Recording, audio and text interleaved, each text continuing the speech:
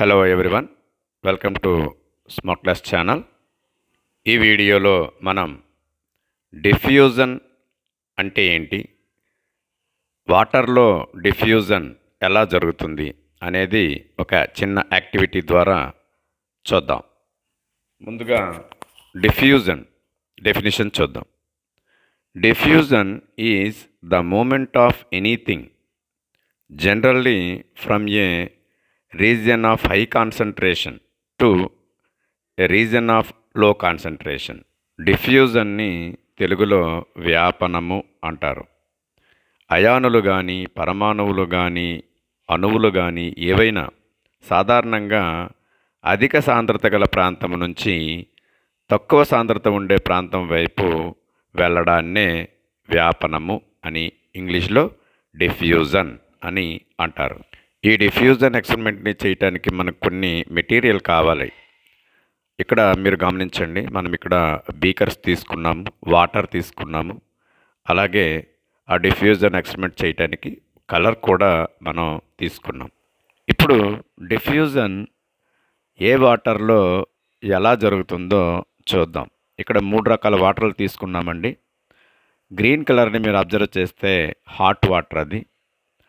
అలాగే ఇటువైపు పింక్ కలర్లో మీరు అబ్జర్వ్ చేస్తే కోల్డ్ వాటర్ అండి. మిడిల్లో మీరు అబ్జర్వ్ చేస్తే నార్మల్ వాటర్ అండి. సో ఇక్కడ గ్రీన్ కలర్ని మీరు అబ్జర్వ్ చేయండి. చాలా వేగంగా డిఫ్యూజన్ అనేది జరిగింది. అదే కోల్డ్ వాటర్లో అంటే పింక్ కలర్ మీరు గమనించండి కోల్డ్ వాటర్. చాలా నిదానంగా అక్కడ డిఫ్యూజన్ అనేది జరుగుతుంది. చాలా స్లోగా జరుగుతుంది.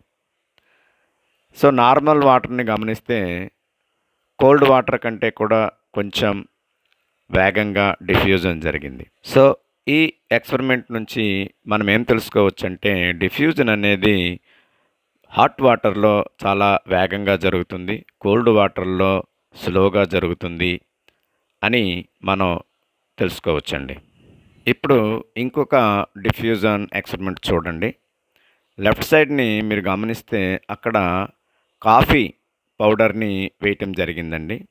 సో కాఫీ పౌడర్ అనేది సాలిడ్ కాబట్టి సాలిడ్ వేసేటప్పుడు మనకి డిఫ్యూజన్ కొంచెం స్లోగా జరిగింది. మీరు కిందకి బీకర్ యొక్క బాటమ్ని గమనించండి. కాఫీ పౌడరు ఇంకా మిగిలి ఉంది. ఇంకా అంటే ఇంకా డిఫ్యూజను అవ్వలేదు. సో లిక్విడ్లో అంటే వాటర్లో మనం ఈ సాలిడ్ కాఫీ పౌడర్ని వేసేటప్పుడు డిఫ్యూజన్ అనేది చాలా నెమ్మదిగా జరుగుతుంది. అంటే సాలిడ్ డిఫ్యూజ్ అవ్వటానికి ఎక్కువ టైం పడుతుంది. ఇటువైపు చూడండి పింక్ మనం కలర్ వేసేటప్పుడు కాఫీ పౌడర్ కంటే కూడా చాలా వేగంగా ఇక్కడ డిఫ్యూజన్ అనేది జరుగుతుంది. సో లిక్విడ్స్లో డిఫ్యూజను చాలా వేగంగా జరుగుతుందని చెప్పొచ్చు.